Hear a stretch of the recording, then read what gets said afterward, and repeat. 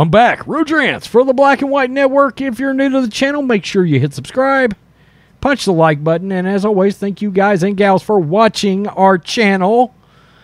Let's talk about a Florida sheriff. I like to do these kind of videos sometimes, highlighting members of law enforcement that I think, frankly, are just doing a good job. Okay? And uh, in this particular case, we got a 10 year old that acted like he wanted to commit violence against the school. So this Florida sheriff went and arrested a 10 year old. This has gotten a lot of publicity all of a sudden. Um, and he is very old school, the sheriff is. He's not that old. He's probably my age, mid 40s kind of guy. But he, he does say a couple of things about parents being unable to discipline children now. You can't discipline children anymore without fear of retaliation. Oh, well, I got my butt spanked. You go to school the next day, next thing you know, somebody's knocking at the door. That's not the way it used to be. My dad was tough on me. He was strict on me. Okay? I don't hold animosity towards my father for it. I mean, my dad was 91 years old when he passed away. Okay? I got raised when I was 10, my dad was 55. He was old school. Okay? So uh and I thank him for that. Rest in peace, dad. Let's uh let's look at this. It this is crazy. I'm going to sc- scroll down to the story and then we'll play the video. The fifth grader who attends Patriot Elementary School in Cape Coral, Florida, was arrested over the weekend after interviews with detectives for making a written threat to conduct, conduct a mass shooting. Sheriff Marceno explained even a fake threat will yield real consequence as child safety remains a top priority. This is the kind of thing that must happen. Quote, our policy is zero tolerance. Sheriff Marceno said, The second we get a threat, no matter what it is, it's considered real until proven otherwise, so we jumped on it immediately. Tuesday marks one week since 21 people lost their lives, 19 elementary school uh, students, and two teachers after a gunman opened fire in Uvalde. Quote, My message is consistent no matter what age. If a 10 year old, 12 year old, 18 year old presses a trigger, the aftermath is the same. I want people to see what's going on, and I want them to know that this county, this state, this great state of Florida means business. Listen to what he says about some parenting here. Our policy is zero tolerance. The second we get a threat, no matter what that threat is, it's considered real until proven otherwise. So we jumped on it immediately. Yep. Uh, you did a campaign, fake threat, real consequence. Obviously, you followed through on that.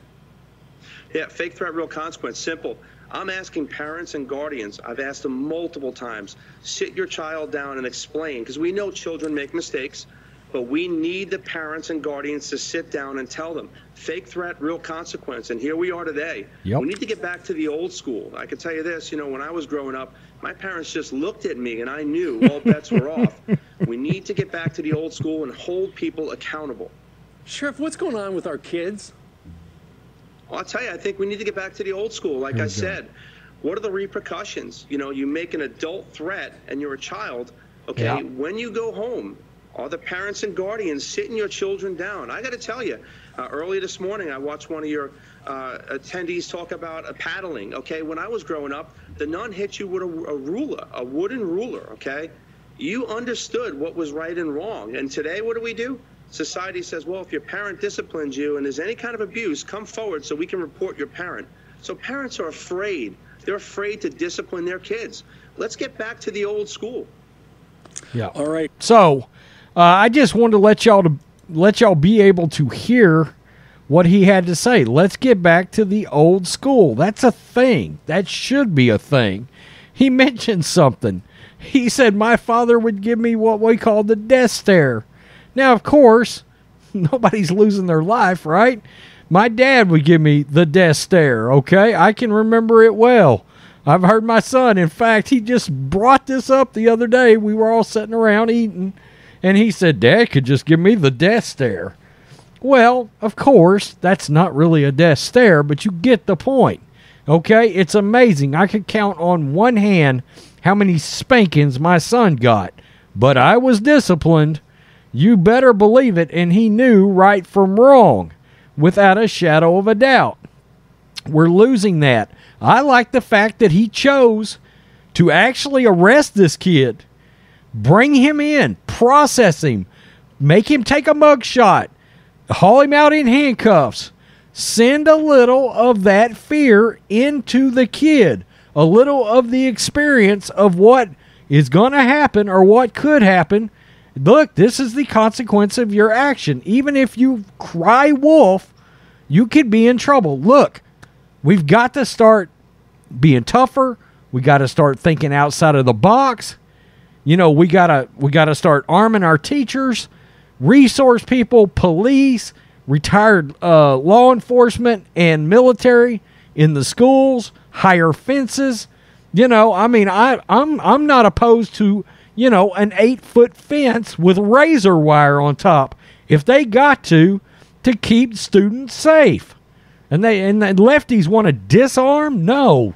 You're leaving everybody vulnerable against criminals and against guys like this guy from Uvalde. And of course, there's the mental health aspect in this as well. But I wanted you guys to see what this sheriff did, the links he went to to send a message to a, a would be, even fake threat, would be, however you want to call it, alleged a kid that just popped off. We're not taking pop offs anymore. We're not. We're going to handle them as being serious. We're going to send a message. Society wants to coddle. I think there is a lack a lack of the ability to cope with adversity among youth now. They don't get their way, they cannot handle it. They've been used to instantaneous uh, you know, instantaneous um, trophies, awards. I've got to win. Even if I lose, I win. No, you you lost and you need to apply yourself to be able to win. That's that's how this is handled. So I wanted to show a little bit of this. I'll probably do a little cut in there.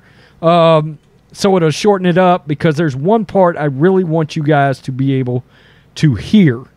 Peace. I'm out. Till next time. Black and White Network supporters, make sure you check out the Black and White Network merchandise store. Link in the description. Use promo code USA First, all one word. USA First, all one word. 25% off now.